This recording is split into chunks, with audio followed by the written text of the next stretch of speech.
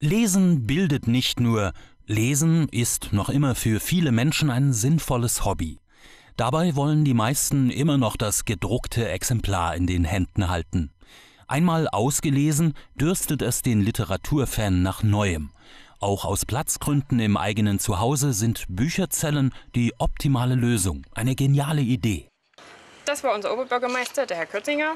Der hat äh, sich auch darum gekümmert, dass die Bücherzellen eingekauft werden von der Telekom, also die alten Telefonzellen. Und dann wurden die aufgestellt. Heute wurden nach den bereits bestehenden in Brunn, Schneidenbach, weitere in Rotschau, Obermühlau und Friesen von der Jürgen-Fuchs-Bibliothek bestückt. Wie hier in Rotschau können nun von jedermann fleißig Bücher getauscht werden.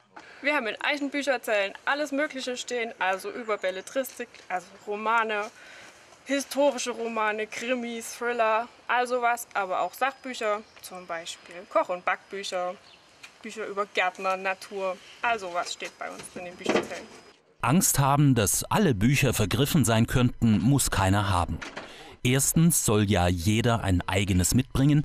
Zudem füllen die Mitarbeiter genannter Bibliothek die Bestände kontinuierlich auf bzw. wechseln diese untereinander. Buchspenden nimmt die Bibliothek ebenfalls gern entgegen oder es klappt vor Ort. Ja, auch TV Westsachsen findet natürlich diese Idee hervorragend und möchten das unterstützen. Wir haben in der Redaktion gesammelt, wir haben also mal ein Fachbuch und ein Bildband und ein bisschen was ja, für die vernachlässigte deutsche Sprache. Ja. Das möchten wir mal symbolisch Dankeschön. übergeben. Es sind natürlich noch äh, mehr Bücher, auch ein bisschen Belletristik haben wir mitgebracht und vielleicht für einen Azubi ein Tabellenbuch Metall ist heute noch genauso die Formel. Also, bitteschön. Dankeschön.